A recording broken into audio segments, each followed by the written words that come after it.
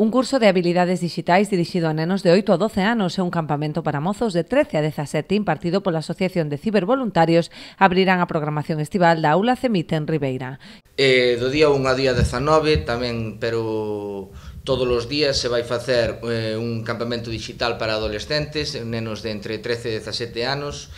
eh, no que se vai a tratar a saúde digital, o que son hábitos saludables e benestar digital, retos virais e comportamentos positivos e negativos en redes sociais e en internet, o que é a protección de datos, a identidade digital e a reputación online. Tamén trataremos o que é a liberdade de expresión e o respeto en entornos digitais e por último tamén se vai a facer eh, actividades nas que se van a ter eh, en conta as profesións emerxentes e as competencias digitais para a búsqueda de emprego de cara ao futuro. En agosto impartirase para os máis novos un curso de informática divertida e os mozos poderán formarse en edición de vídeo e realidade virtual. Eh, do día 5 ao día 30 de agosto vamos a levar a cabo un curso para nenos de entre 8 e 12 anos eh, de informática divertida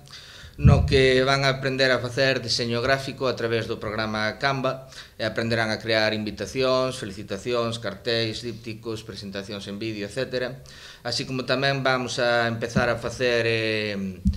para os nenos máis pequenos eh, iniciación na impresión en 3D. A través deste curso os nenos poderán aprender a modelar, a diseñar e a imprimir eh, determinadas figuras ou eh, cousas que eles diseñen no, no curso.